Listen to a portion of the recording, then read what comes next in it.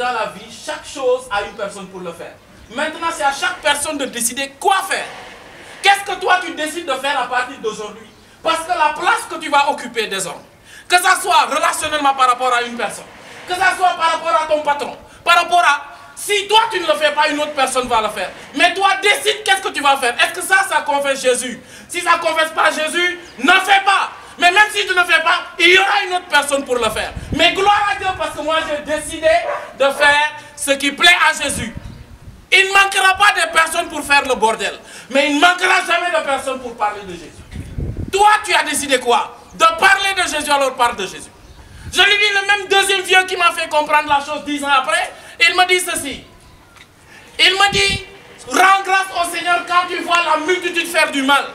Toi, efforce-toi à faire du bien. Parce que quand tu fais du bien, c'est comme si tu es dans un noir et on y jette un étincelle de lumière. Quel qu'en soit le lieu où tu te trouves, tu verras cette étincelle de lumière en plein noir. Pourquoi? Parce que la puissance de tes ténèbres manifeste l'étincelle du bien que tu fais. Quand tu es dans ton service, quand tu es dans ta génération, quel qu'en soit le lieu où tu te trouves, les gens font n'importe quoi. Toi, demande à Dieu que l'étincelle de lumière passe par toi. Tu verras que les gens vont faire semblant de ne, voir, de ne pas voir le bien que tu fais. Toi, tu crois que tu es plus catho que Tu viens de naître. Laisse-nous tranquille. Nous, on a été baptisés lorsque le pape était venu ici. Moi, j'ai été baptisé au Vatican. C'est le pape lui-même qui m'a baptisé. Tu entendras des gens te le dire. C'est pas ça qui est important. Ce qui est important, c'est que l'étincelle de Jésus passe par toi, au beau milieu de toutes ces personnes. Et c'est là que tu verras des années, au moment où tu ne le crois pas. Au moment où tu croiras que c'était foutu, des personnes vont dire, bon, on a cherché de bons chrétiens pour aller au Vatican, ben il n'y a que toi que le, que le service a donné le billet. On a cherché des personnes à qui parler, bon, il n'y a que toi, quoi.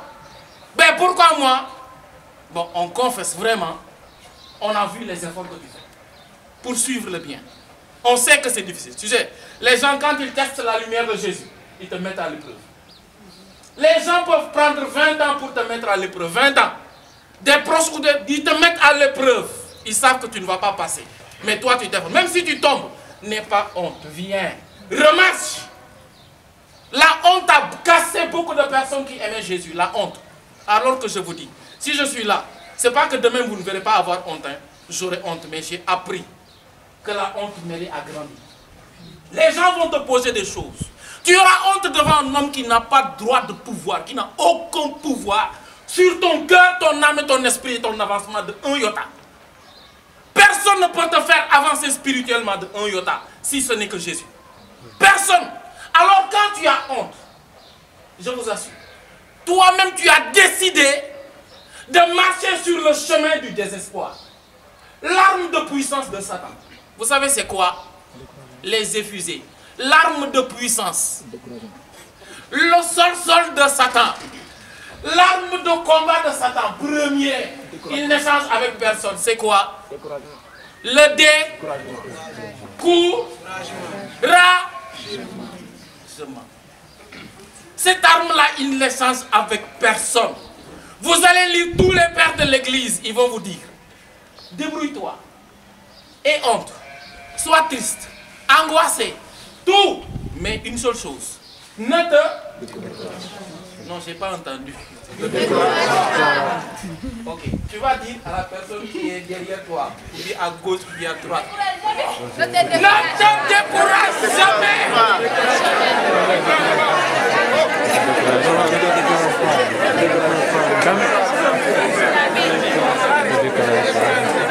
Ah oui.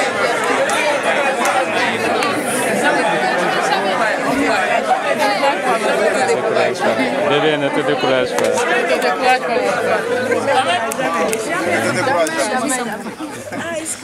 Vous voyez Puisque toi tu as dit à l'autre ne te décourage jamais, maintenant tu es maintenant lié par la règle d'or des chrétiens.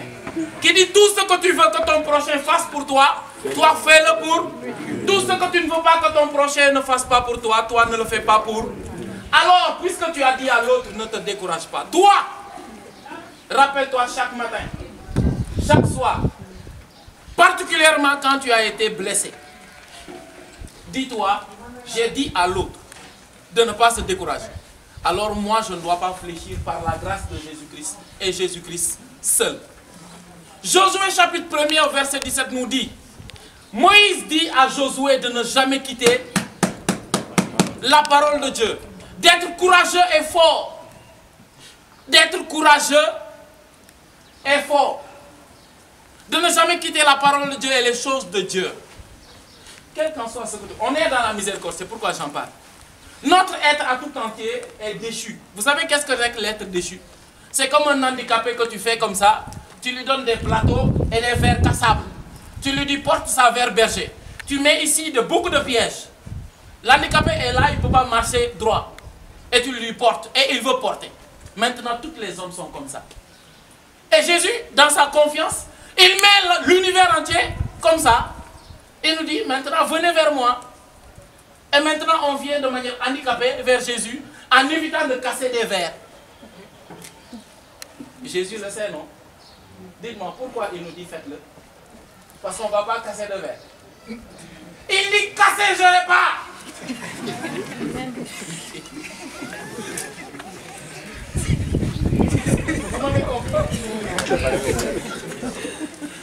Casser, je pas. Casser, c'est pas dans l'intention. Bon, prends les verres, casse-les. Non. On te dit, prends les verres. Il y avait 100. Tu mourras à 10 ans. Mais débrouille-toi à ce que ces 100 talents-là marchent. Marche. Hein? Il y aura peut-être 50 qui se sont cassés. Mais Dieu regarde à la volonté du cœur de servir. Beaucoup de personnes, qu'est-ce qu'ils font? Bon, quand ils sont fatigués, ils disent, bon, je prends les verres, je casse. Jésus a dit cassons, il paye. Non, Jésus n'a pas dit ça. C'est pas volontairement que tu prends, tu casses. Non, c'est douloureux. Mais Jésus nous y prenait. Ce qui se casse, pas intentionnellement, hein, c'est-à-dire les péchés, nos faiblesses. On ne le fait pas intentionnellement, c'est notre faiblesse. Mais on marche vers. Maintenant, ce qui est cassé, Jésus se charge de réparer. C'est pourquoi il est mort. C'est bizarre, hein? Depuis que Jésus-Christ est mort à la croix.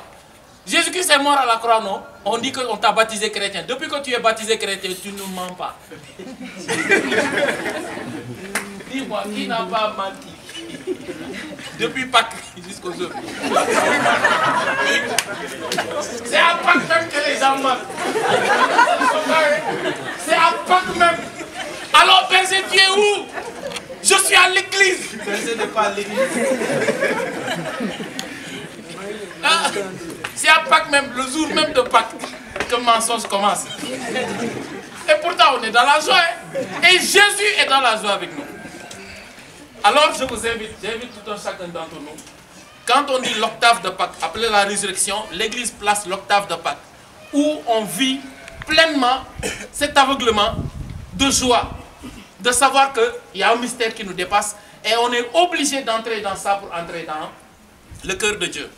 Mais le dimanche de la miséricorde, en réalité, elle nous plonge dans la miséricorde, pas simplement pour les cathos, mais pour que le, cœur de Jésus est ouvert ce dimanche-là, ce week-end, à toutes les personnes.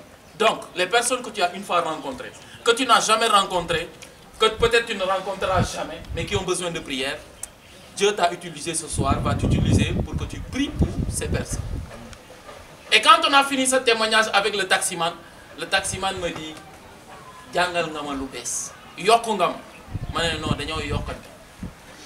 je n'ai pas parlé de Jésus mais Jésus a voulu parler de lui-même.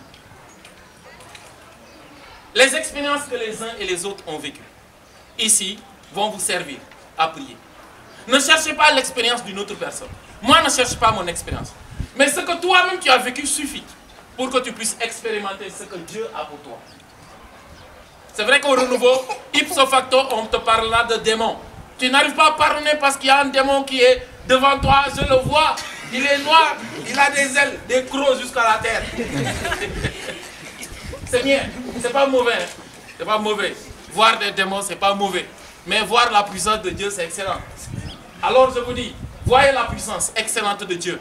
Voyez la puissance. Quand le démon sait, nous dit Padre Pio, quand le démon sait que tu vas rencontrer la puissance de Dieu, le démon vient pour t'effrayer, pour que tu te détournes de Dieu, alors que Dieu est là. Alors aujourd'hui, ne vous détournez pas. Ne vous occupez pas de vos faiblesses. Ne vous occupez pas du démon. Ne vous occupez pas de vos situations mauvaises. Ne vous occupez pas de tout cela. Invitez Jésus, la puissance de la résurrection. Invitez-le dans le temps de prière intérieure et demande-lui, Jésus, que le pactole soit fait au fond de moi-même. Amen.